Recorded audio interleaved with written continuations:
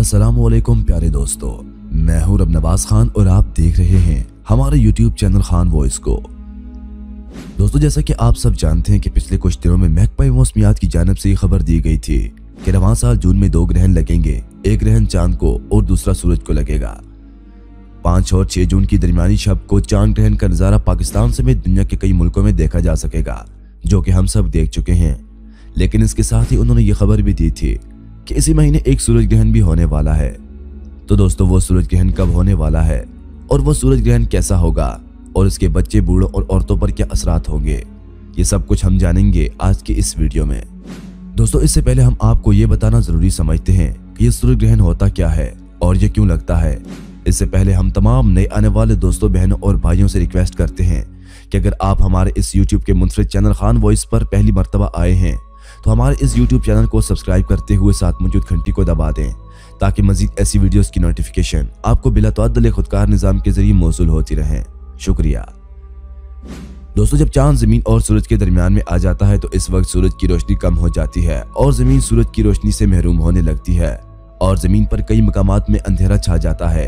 यूँ इस अमल को सूरज ग्रहण कहा जाता है। अब फिर से सूरज ग्रहण बताई गई वक्त के मुताबिक 21 जून को होगा।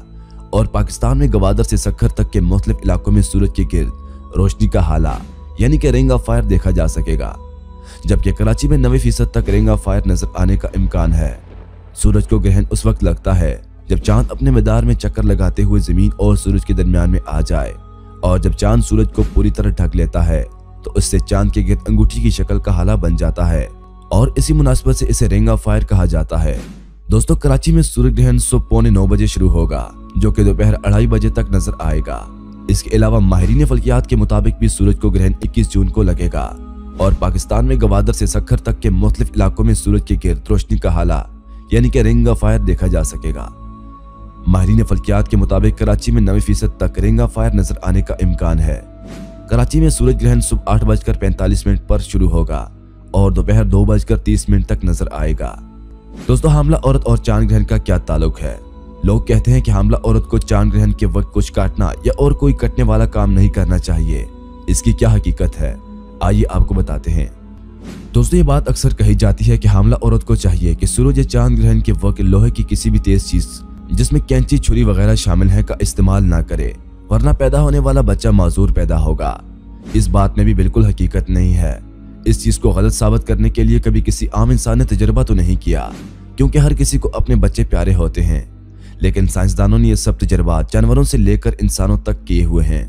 माजूर बच्चे का पैदा होना सिर्फ़ एक इतफाक या किसी और जीनियाती बीमारी का नतीजा हो सकता है, लेकिन एक फलकियाती अमल का इंसानी ज़िंदगी से किसी किस्म का कोई ताल्लुक कभी नहीं हो सकता। हज़रत आयशा सदीका रज़ी अल्लाह तला फरमाती है कि रसूलुल्लाह सल्लल्लाहु अलैहि वसल्लम के अहद मुबारक में सूरज को ग्रहण लगा। तो रसूलुल्लाह सल्लल्लाहु अलैहि वसल्लम ने लोगों को नमाज़ पढ़ाई। आप खड़े हुए तो एक लंबा क्याम किया। फिर रकू किया तो लंबा रकू किया, फिर खड़े हुए तो लंबा कयाम किया, जो पहले कयाम से कम था। फिर रकू किया तो लंबा किया, और वो पहले रकू से कम था। फिर सजदे किया तो लंबा सजदा किया, फिर दूसरे रकत में भी इसी तरह किया, जैसे पहली रकत में किया था। और फिर जब फारग हुए तो सूरज रोशन हो चुका था, और आप सल्लल्लाहु अलैहि वसल्लम ने लोगों को खुतबा दिया तो अल्लाह ताला की हमदो सना बयान की फिर फरमाया, बेशक सूरज और चाँद अल्लाह की निशानियों में से दो निशानियाँ हैं। जिनको किसी की मौत या ज़िंदगी की वजह से ग्रहण नहीं लगता। जब भी तुम यह ग्रहण देखो तो अल्लाह ताला से दुआ करो, तकबीर कहो, नमाज़ पढ़ो और सदका दो। फिर फरमाया, ए उम्मत मोहम्मद वसल्लम, खुदा की कसम, अल्लाह ताला से ज़्यादा गैरत वाला कोई नहीं, जबकि उसका बंदा या उसकी लोंडी जना करे। ए उम्मत मोहम्मद वसल्लम, अगर तुम जानते, जो मैं जानता हूँ तो तुम कम हँसते और ज़्यादा रोते। मोहतरम अज़ीज़ दोस्तों एक ज़रूरी बात जो मैं आपको बताना ज़रूरी समझता हूँ, वो ये कि सूरज ग्रहण के वक्त बिना किसी फ़िल्टर के आम आँख से, सूरज की तरफ़ देखने से आँखें हमेशा के लिए जाया हो सकती हैं। लिहाजा सूरज ग्रहण को देखने के लिए फ़िल्टर का इस्तेमाल बहुत ज़रूरी है।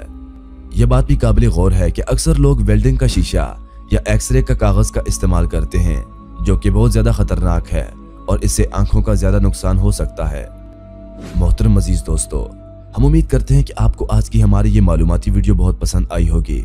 मजीद ऐसी वीडियोस देखने, सुनने और जानने के लिए हमारे यूट्यूब चैनल को सब्सक्राइब करते हुए साथ मौजूद घंटी को ज़रूर दबाएँ, ताकि आने वाली हर नई वीडियो की अपडेट आपको बर वक्त मौसू होती रहे। दीजिए रब नवाज़ खान को इजाज़त इस उम्मीद के साथ कि अगली बार एक और नई और अच्छी सी वीडियो के साथ हाजिर होऊँगा। तब तक के लिए अल्लाह पाक आप सबका हामी नासर। वसलाम